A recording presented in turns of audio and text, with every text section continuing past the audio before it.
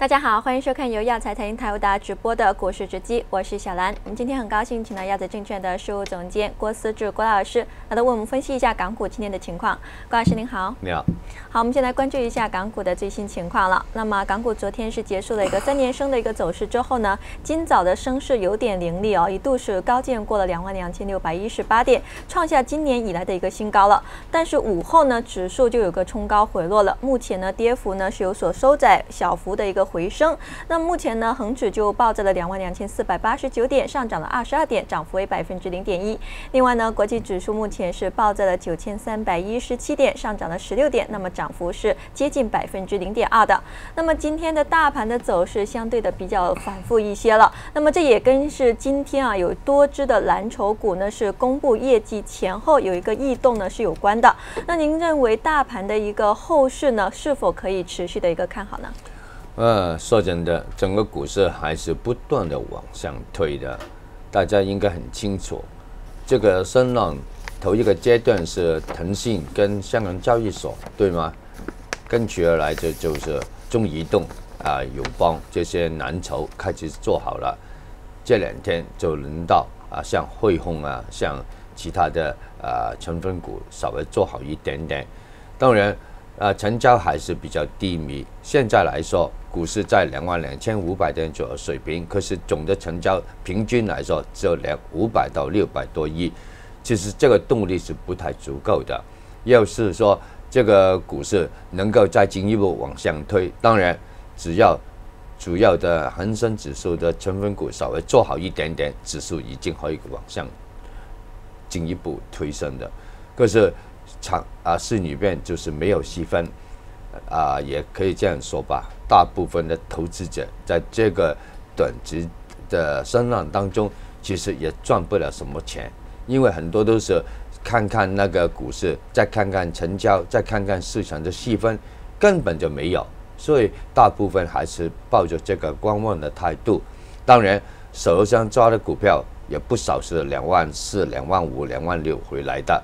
等于说，股市在进一步往上推的话，可是啊，总的来说，家乡价还没到，所以变成来说，呃，很多投资者都觉得股市现在不算低，因为低位上来已经上升了两千九百多点，再买一点高价货的话，承担的承担的风险也相对来说比较高。可是手头上的股份也还是有一段路才见到家乡，所以变成来说。就是股市在往上再升五百到八百点，恐怕跟他们也没有太大的关系。这样子看起来，股市虽然是不断的往上寻找这个月跟寻找今年的高位，可是细分还是比较保守的。你要是问我的话，我觉得整个不断往上寻找高位的走势应该暂时不会改变，尤其是啊现在还。只不过月中还没到，当然，要是指数再往上去，而成交还是保持一个低迷的话，恐怕到九月份呢，还还啊，也可能稍后股市是会有一点点的回吐跟反复都也说不定。毕竟从那个啊那个六月二十四号的低位一万九千六百六十二点开启了上升，到今早的两万两千六百一十八点来说。指数已经上升了两千九百五十六点，这个其实来说已已经不算太小的了，尤其是那个总的成交平均来说只有五百到六百个亿。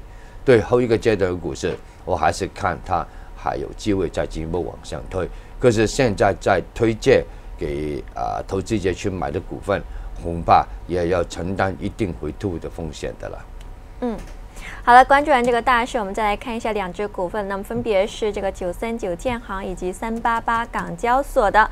那么我们先来看一下建行了。那么今天大盘上啊是以金融股表现是较为的突出的。那么其中呢九三九建行呢更是受到资金的一个追捧了。那么居半日成交金额榜的第一位。另外最高呃股价呢最高的时候是见过是五块五毛五的，上涨了百分之一点五，创下今年的一个新高了。那目前股价是报在五五块五毛三，是上涨了百分之一点一的。那么内银股的话，您看好这只股份吗？目前呢，应该怎么去部署呢？内银股当中，我看的比较好的就是啊，建设银行、工商银行跟中国银行。第一就是他们的 P/E 还是比较低，市盈率只是五倍啊、六倍这样子水平，而那个利息也平均有差不多五到六厘左右水平的。当然有个别一两觉得利息稍微还要高一点点。看起来内地的那个经济下行的话，对内银股也当然会造成一定的影响。可是由于他们的股价啊相对来说也不算太高，所以短期之内要是你问我要看好啊，内银股当中哪一只是最好的？没有错，真的是建设银行。其实来说，工商银行跟中国银行我也看得比较好。可是要是资金只有只有一注，三者当中只能买一只的话，我想我还是会推荐建设银行。不过要补充一句，从四块三毛一到今早今天的高位五块五毛半来说，每一股已经上升了。差不多三十个 percent 的了，二十几吧。现在再冒进去，除非你有一个中线投资的心态，要是买来会来买回做一个短线的炒卖的问题不大的。可是又懂得你往上看，譬如来说，看五块八、五块八毛半也好，这个没问题。反而就是，要是一旦受压的话，那什么价钱你要止损呢？这个很重要。我。希望赚他三毛钱，我觉得我顶多就是啊承担三毛钱的风险，这个就比较呃可以啊跟大家说的。要是说赚一一毛两毛三毛啊你不走，可是一亏下来你也不走，那就问题就会来了。其实相对一年的高位六块多七块钱到现在，它还是下调了很多的了。当然。啊，估计内地的经济没有那么快会出现一个明显向好的走势，所以内银股暂时来说，说真的，真的是有波幅而没有升幅，有反弹而没有大升的。三者国有银内银股来说，要是我推荐的首选还是九三九建设银行。嗯。那么看这只股份还是要看自己的能力哦，好好好的控制好这个风险的一个水平了。那么接下来我们再来关注一下另外一只股份是三八八港交所了。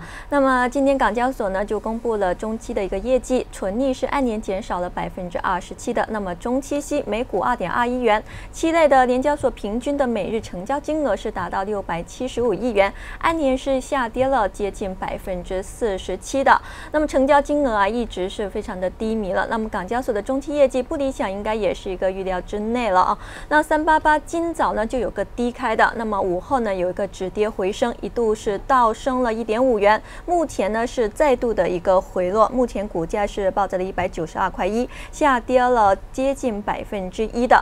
那么对于这一只股份啊，您短线呢是看在一个什么样的一个位置？那中长期的话又是看在哪样呃什么样的一个位置？应该怎么提出部署呢？其实这个业绩倒退二十七个 percent，这个市场市场也会市场也会预期的。毕竟过去一段比较长的时间，成交金额一直在五百到六百多亿，相对去年四月份曾经见过两千多亿来说，你你也看得到整个股市的确是交投是很低迷的。这个这是第一。第二就是说，啊，股价为什么还是抓着一万一百九十多块钱而不下呢？当然，两块两毛一的利息还算是不错。不过，相对去年好像有三块多的话，今年派送的利息是减少一点点。不过，我想市场已经预期的了。现在我们比较关注的就是深港通到底什么时候是公布？有消消息说今年十月份就要推出来了。那这样子，八月中啊，八月底就要公布的了，对不对？所以。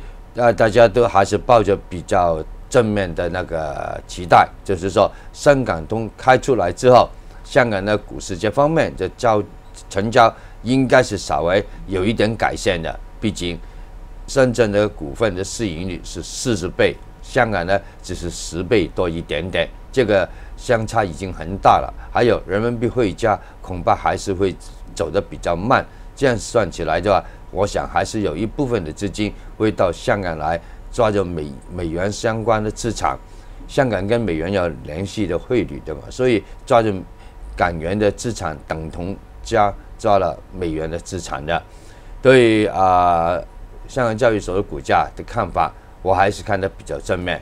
不过，要是这段时间你要求它出现怎么样的上升，我想还是比较困难。第一，股市真的是没有成交，这个是没办法。还有一点，一百六十块钱的香港交易所到一百九十五块钱，已经上升了二十多个 percent，就是说一个中期的反弹，这个已经是差不多的了啊。嗯，好的，我们感谢郭老师做出的详尽分析。那么，请问您刚才所提及的股份和资产有持有吗？